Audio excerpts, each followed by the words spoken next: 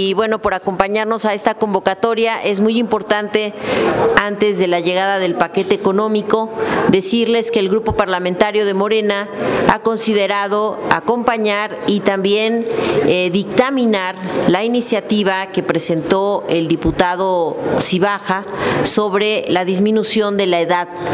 para la pensión de adultos mayores, de 68 a 65 años, ya de manera constitucional en zonas urbanas y a 62 zonas rurales. Para ello, mi compañero presentará la propuesta. Muchas gracias a todos los medios de comunicación. Agradezco la presencia de mis compañeras y compañeros diputados, de nuestra compañera amiga diputada Leida Lavés. Es para mí un honor presentar esta conferencia de prensa porque precisamente desde el 16 de marzo de este año se hizo la propuesta de modificación eh, con proyecto de decreto por el que se reforma y adiciona el artículo cuarto de la Constitución Política de los Estados Unidos Mexicanos, publicada en la Gaceta Parlamentaria el 16 de marzo del 2023 y turnada a la Comisión de Puntos Constitucionales a fin de armonizar nuestra Carta Magna para dar certeza jurídica y estar en concordancia con lo señalado en las reglas de operación del programa de pensión para el bienestar de las personas adultos mayores que emite la Secretaría de Bienestar.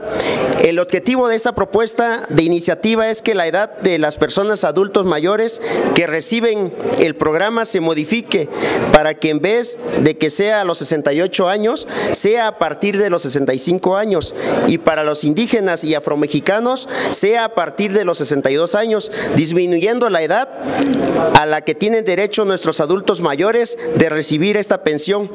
Nuestra Carta Magna debe aportar la claridad necesaria sobre el criterio relacionado con la edad mínima que deben tener las personas adultos mayores para acceder a este programa de bienestar.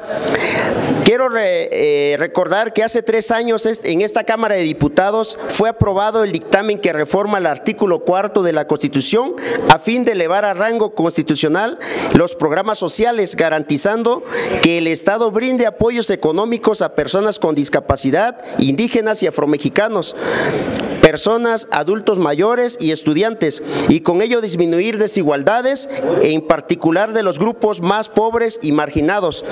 Hoy en día son 12 millones de adultos mayores quienes reciben esta pensión, esto en un contexto de cumplimiento a uno de los principales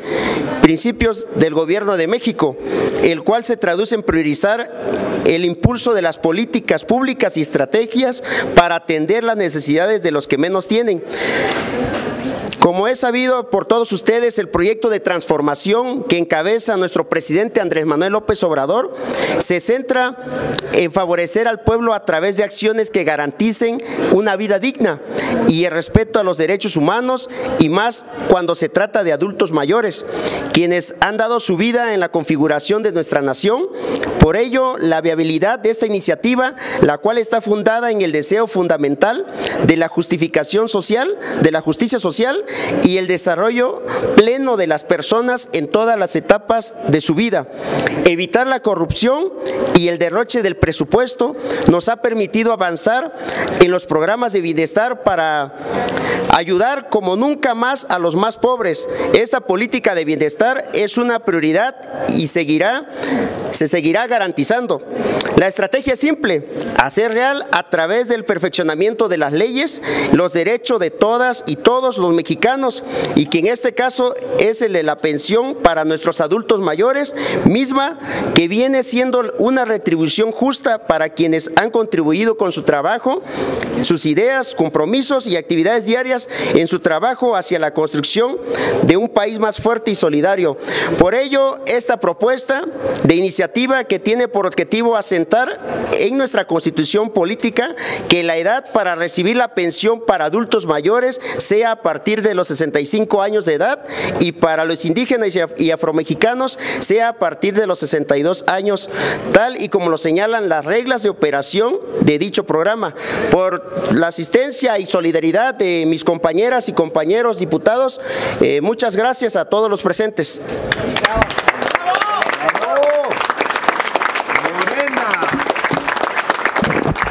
No sé si hay alguna pregunta.